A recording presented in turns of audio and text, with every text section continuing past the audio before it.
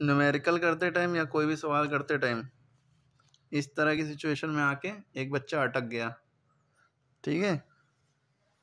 अब इसको कैसे किया जाए? उसका नाम दानिश था। चलो दानिश अटक गए हैं तो दानिश के नाम के कई लड़के होंगे जो अटक जाएँगे यहाँ पे। तो इसको करे कैसे?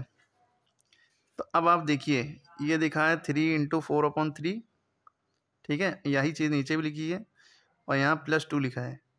समझ में नहीं आ रहा होगा क्या करें देखने में डरावना दिख रहा है। उससे कोई फ़र्क नहीं पड़ता। आप इस पर फोकस करिए आप इसमें फोकस ऐसे कर सकते हैं। यहाँ प्लस टू छुपा लो और नीचे पे फोकस हटा लो। तो अब बचपन में कुछ देखा इस तरह का? थ्री से थ्री कट जाएगा क्योंकि मल्टीप्लाई लगा है ना। थ्री वन दा थ्री थ्री वन दा थ्री या एक ऐसा भी कर सकते हो three four the twelve twelve upon three three से ट्वेल्व को काटोगे थ्री वन द थ्री थ्री फोर द ट्वेल्व ठीक है?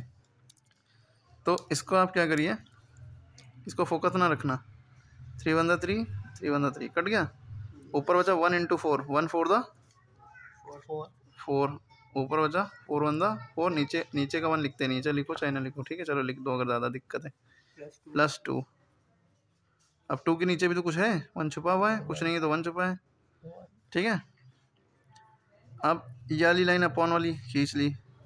ये इसी तरह यहाँ भी फोकस करो। थ्री से थ्री कट जाएगा ना? थ्री वन दा थ्री थ्री वन दा थ्री तो वन फोर द फोर अपॉन वन चलो लिख लो. माइनस टू चलो लिख लो. अब क्या करें? तो नीचे वन वन है. चलो वन वन आ गया. एलसीएम वन ही आएगा क्योंकि बीच में प्लस लगा होता है तो डिनोमिनेटर का एलसीएम लेते हैं, ठीक है?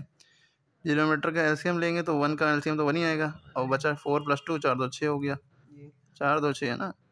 यहाँ पे यहाँ पे वन ना मानो अगर, ना ना मानो तो अच्छा ही है यहाँ पे।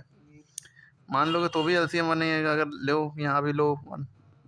बीच में प्लस या माइनस होता है तो नीचे वाले नंबरों का एलसीएम लेते हैं। वन वन का एलसीएम वन ही आएगा।